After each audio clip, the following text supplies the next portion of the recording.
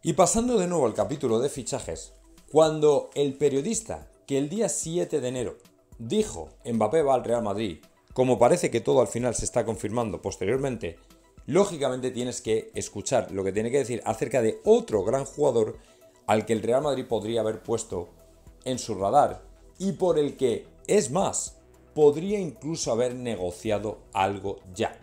Nos estamos refiriendo ni más ni menos que a Lenny Lloro, del que Santi aún afirma que efectivamente el Real Madrid ha estado en contacto con su entorno.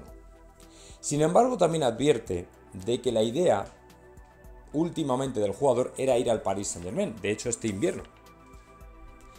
Pero como no ha ocurrido, o parece que no ha ocurrido, y ojo que el Paris Saint Germain estaba apostando muy fuerte por el jugador, se hablaba de poner hasta 80 millones por él, pues podría haber habido un cambio significativo en lo que hubiera pasado con el jugador del Lille. Es decir, podría a lo mejor haberse enterado de que de últimas el Real Madrid ha entrado a ficharle y quizá a lo mejor es el momento para él de decir, ahí va, pues casi mejor me espero y me voy al Real Madrid, que es donde todas las grandes estrellas quieren estar.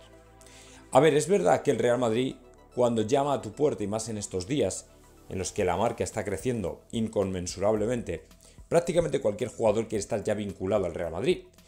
Y aunque no debemos sobreconfiarnos y pensar que está todo hecho simplemente porque somos el Real Madrid, lo cierto es que esto es un plus extra en lo que muchos pensamos que es un activo prácticamente imbatible a la hora de que un jugador nos elija por delante de cualquier otro. Y yo sinceramente creo que a nivel deportivo el Real Madrid es mucho más atractivo que el PSG para cualquier jugador. No soy futbolista profesional, pero tampoco hay que ser catedrático para darse cuenta de que si el Real Madrid llama a tu puerta, pues obviamente es mucho mejor que estés ahí con el Real Madrid a que te vayas con un Paris Saint Germain que tiene cero certezas a nivel de títulos. Entonces, en este sentido, creo que si efectivamente el jugador no se ha hecho con el Paris Saint Germain, hay una posibilidad muy grande de que el Real Madrid esté detrás, de que tenga muchas posibilidades y de que al final veamos al central vestido de blanco la temporada que viene. Pero esto, una vez más, se tiene que hacer entre bambalinas, ¿vale? Con mucho cuidado, porque además el jugador tiene contrato hasta 2025. Pero claro, recordad que había fichado a Jorge Méndez. Cuando tú fichas a Jorge Méndez, no es por casualidad. Cuando tú fichas a Jorge Méndez es porque realmente quieres salir del equipo en el que estás y quieres un futuro mejor y diferente. Que ese puede ser también el Paris Saint Germain, por el que a lo mejor Jorge Méndez pueda estar pujando, que se va a llevar más dinero.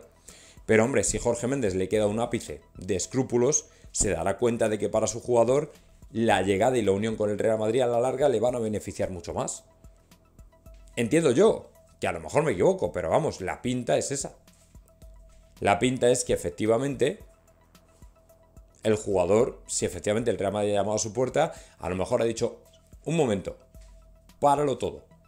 Que a lo mejor nos vamos a Madrid en lugar del Paris Saint Germain. Dime tú qué relevancia después de que se haya sabido que Mbappé va a salir. Dime tú qué interés queda en jugar en Francia. Ninguno, cero, absoluto. No lo hay. Entonces el Lloro lo sabe. Y él sabe perfectamente que ahora mismo quedarte jugando en Francia representa nada. Cero es un parche en tu carrera. Si tú quieres tener una carrera realmente brillante, tienes que venir al Real Madrid. Eso creo que es bastante claro y creo que todo el mundo lo sabe y lo conoce. Entonces, en este sentido, honestamente creo que no debería haber duda, pero oye, que el fútbol, como da estos vuelcos, estos giros tan extraños, pues fíjate, muchas veces a lo mejor lo que te piensas que va a pasar finalmente no pasa. Así que bueno, vamos a estar calmados de momento y vamos a ver si efectivamente la cosa va por donde tiene que ir y nos damos cuenta de que Lenny Lloro ha elegido bien y el Real Madrid es el equipo en el que quiere estar.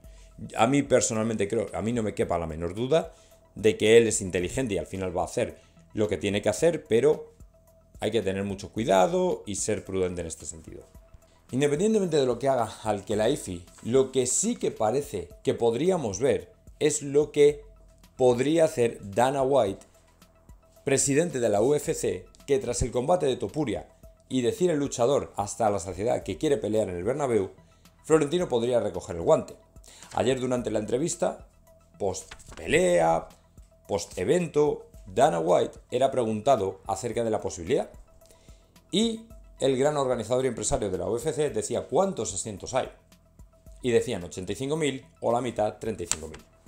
Y claro, él preguntaba, pero ¿en abierto, cubierto o descubierto? Y decía, no, no, cubierto. Y decía, bueno, pues suena bien, la verdad es que tiene muy buena pinta. Lo que es seguro es que vendremos a España.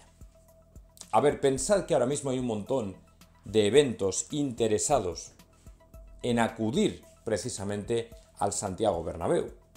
Y claro, en este sentido la gente se mata por traer todos sus eventos a un remozado estadio que lógicamente va a ser capital mundial de muchos de los grandes eventos de la historia. Porque como decía Tomás González Martín, a partir de ahora para muchos cantantes en su carrera deportiva va a ser como un plus el cantar en el Bernabéu, al igual que en muchos otros deportes, facetas de la vida, etcétera, etcétera. Entonces, en este sentido, tenemos que tener en cuenta que el hecho de que el presidente de la UFC, mundialmente conocido, pueda tener la posibilidad de organizar una pelea con topuria entre los peleadores en el Bernabéu, es definitivamente el estadio, el lugar, el contexto que tú más quieres. Entonces, en este sentido, yo sinceramente creo que efectivamente es por donde tienen que caminar las cosas. Me alegro mucho de las palabras de Dana White, que lógicamente vienen a reforzar al Bernabéu como gran acogedor de eventos. Ojalá de verdad que así sea. Santi Auna volvió a desvelar, a escribir y a poner en conocimiento de muchos de nosotros lo que pasó precisamente en el momento en el que en 2023 Mbappé fue castigado por el Paris Saint Germain, por qué fue castigado, por qué cambió de opinión y por qué ahora parece que efectivamente se va a marchar. Santiago, como veis, fue uno de los periodistas o bien mejor informados o que desde luego se jugó el mejor triple de la historia, porque fue el que el 7 de enero de este mismo año dijo, no hay nada que hacer, Mbappé se va al Real Madrid. Independientemente de esto, el periodista tenía que tener información porque desveló que efectivamente el pasado verano lo que ocurrió, todos aquellos que nos informaron de que algo había, no estaban del todo desencaminados, es decir, algo hubo. El jugador fue, como sabéis, castigado por su club impidiéndole jugar la gira en Japón. Y lo dejaron, lo relegaron a las categorías inferiores. Pues bien, de todo aquello lo que salió fue que Mbappé abrió la puerta a renovar con el Paris Saint Germain. Y lógicamente al que lo creyó y se entusiasmó. Precisamente por esto, además, le puso el tema de perdonar la prima en el caso de que se fuera. Pero lo que más interesaba al que es que el jugador renovara y abrió la puerta.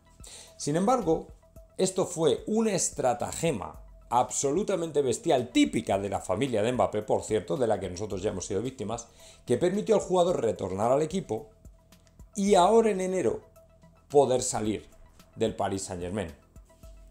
Claro, esto lógicamente pues no le gustó al que la IFI, pero la puñalada ya estaba dada.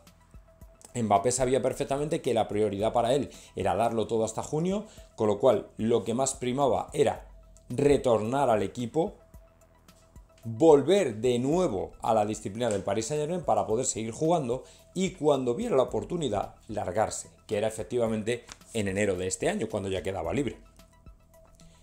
Al que la IFI le creyó, le retornó al equipo, se aseguró lo de la prima, pero creyó todavía que el jugador habría renovado en el caso de que no hubiera estado el Real Madrid de por medio.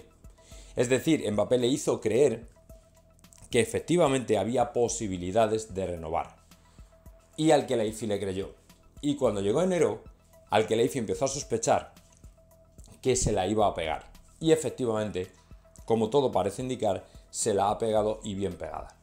Y al final va a resultar que el jugador se va a marchar. Es lo que tiene toda la pinta de que va a ocurrir. Y lógicamente al que la IFI, pues bueno, como ha salvado lo de la prima, seguramente no le ha sentado muy bien, pero tampoco se va a volver loco. Porque en definitiva tiene que tomárselo con espíritu deportivo. Esto es lo que pasa en el fútbol. Aparte que Fabricio Romano ya ha dicho que planean sin él. Así que bueno, vamos a ver si efectivamente se lo toma así o por el contrario vuelve a explotar y toma represalias.